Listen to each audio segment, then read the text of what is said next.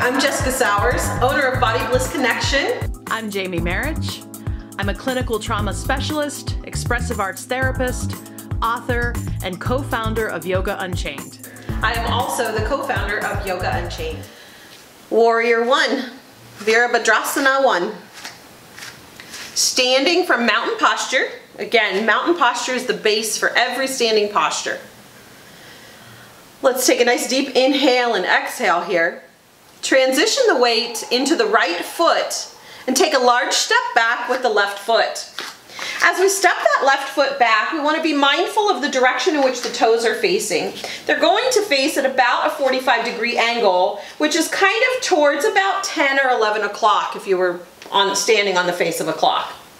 So from here, our core muscles are active, lengthening the spine, and we start to guide the hips to square towards the front edge of the mat. Bringing the hands to the hip is a great way to monitor this, to know if you're open or closing those hips towards the front of the mat, which is where we want to be. Take a nice deep inhale, lengthen through the spine, and on the exhale, we'll bend deeply into that front knee. We want to ensure that the front knee is stacking over top of the ankle and angled or tracking over that second and third toe. So being mindful that the knee is not opening inward towards that big toe or outward towards the little toe, but staying tracked right over that second and third toe. And again, stacking over top of the ankle and not coming out in front towards the toes. On an inhale, let those arms sweep all the way up, reaching up towards the sky. Palms face each other. Arms are active, fingertips reach. And we pull the shoulders gently away from the ears. Take a deep inhale. And perhaps if our balance is on today, we look up in between the hands. Find that nice deep breath as we settle into this posture. Keeping that alignment in the body. On an exhale, let's bring the arms down. Begin to press into the front foot and step the back foot forward, coming back into our Tadasana, mountain pose. Nice deep breathing throughout every asana and their transitions. Let's begin to shift the weight into the left foot. Take a large step back with the right and again be mindful of those back toes. We want them at about a 45 degree angle. So on the left, with the right foot, the left leg forward, with that right foot, we're going to be angled at about 2 o'clock. and we square the hips towards the front edge of the mat again. On an exhale, we'll bend deeply into that front knee, stacking it directly over top of the ankle. Next inhale, we'll sweep those arms all the way up, engaging, reaching up tall, shoulders away from the ears, and perhaps we look up between those hands. Pressing down equally between both feet and again finding that connection of the three points on the feet. Pressing into the mounds under each big toe and little toe and the heels. Nice deep inhale. Arm modifications, you can switch those arms around coming into goddess arms or touchdown arms.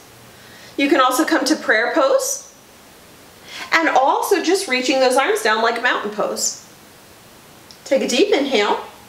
And on that exhale, press down into the front foot, step the back foot forward, mountain pose.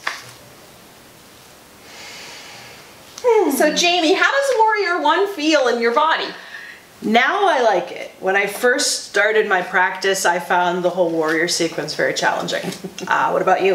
Uh, yeah, it, it was a love-hate kind of thing. Feels good when it was done. I didn't like it while I was doing it. but um, it's definitely given me some um, good focus internally, especially on paying attention to the cues that my body gives me. Uh, yeah, and I think also in talking about how it makes me feel, this is a pose where I, that alignment is so important because whenever I have not so great experiences in this, my feet hurt, I'm yelling to get out of it, it's usually because something isn't aligned. And even as you were instructing that, I felt my alignment really, I was really conscious of it. And as a result, really had a great experience in the post. Just very opening, very empowering. Mm -hmm. So let's talk about challenges. What are some of the mm -hmm. challenges you've seen students have with this? So there are a few challenges in this posture. One of the big challenges is that front knee. Mm. So many of us, we might have some good strength in our quad, but maybe the inner or the outer thigh is not so powerful, not so doesn't have quite as much strength.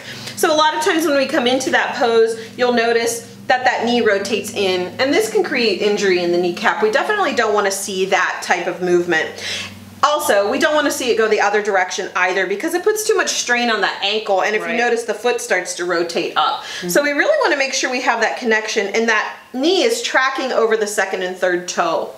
The other thing with this bend in the knee is that sometimes we come too far forward, which then puts too much mm. strain on the knee. So if you're in the posture and you find that you have that extra movement to make in the knee, you step the foot forward.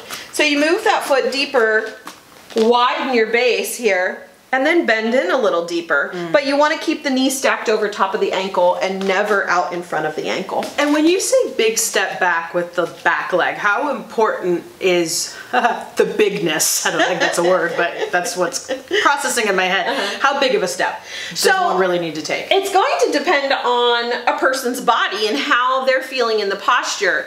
So in yoga, uh, you really want to extend and really lengthen because you want to find the edge of the posture. So maybe three to three and a half feet. Mm-hmm. However, when you have someone who's just starting out, who may have an injury, Right. who's having a different experience in their body, or today is different for their body, Mm-hmm. you can step just a foot back. So it's not going to hinder the ability of the body or the benefit of the posture by narrowing the stance. Right. But you're going to invite your students to find the width of that step that's going to work best for them today. Sure. Uh, modifications. I like that you cued the arm modifications. Uh, I think that might have been something I did naturally uh, did. because I uh, I love goddess arms on warrior. Um, sometimes it's because it's physically challenged to hold them in challenging to hold them in one place too long. But sometimes I just like the variation of I feel a little bit more of a shoulder opening here or but it's not as hard on my shoulders often as mm-hmm. as doing it this way or if i'm in more of a place where i want to center into the intention i may do prayer hands Yeah.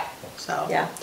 Um, let's talk other modifications So, some of the other modifications that we can think about for our warrior posture is the width of our stance. Mm. So, we can always narrow that stance or widen it because sometimes that makes it easier in people's bodies. Also, the bend in that front knee.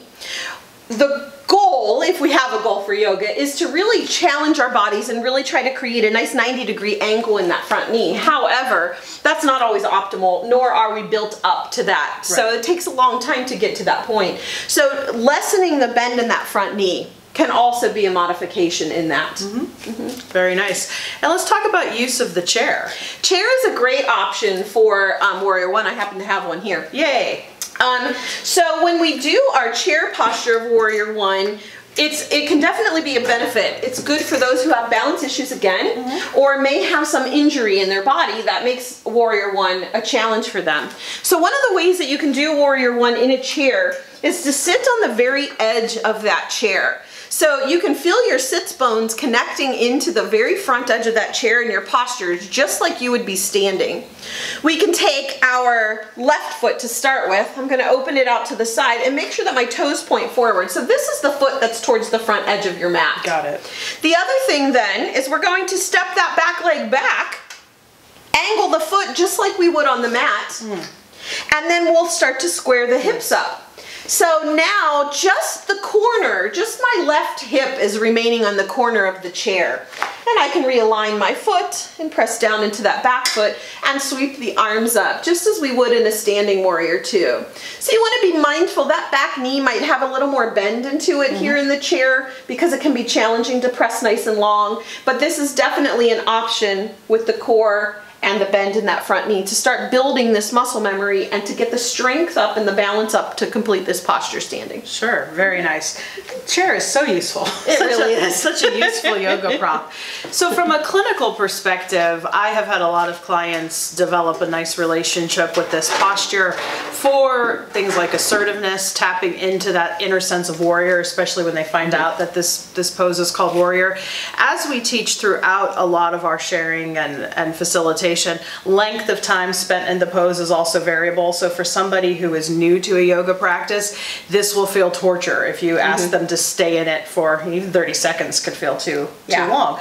So small graduated doses. Uh, right. Uh, that's probably one of the biggest challenges I've seen people have with this that they mm-hmm. strain it when they try try it too long. Mm-hmm. The other thing also to note, the reason we demoed it on both sides it may feel different on one side than the other. So, do you have anything you want to share about that? Our body is very interesting. It's actually a magnificent thing. But each side of our body is different. Mm-hmm. One side could be stronger than the other, one side can be more flexible than the other.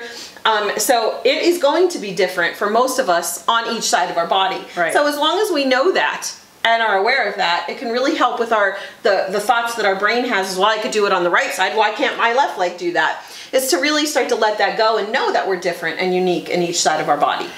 So important that it's nothing to be ashamed of. Oh yeah, no. Because I feel a lot of people feel like, oh, I failed yoga. There's no such thing. Yeah. No, no. such thing. Thanks for joining us for Warrior. Thank you.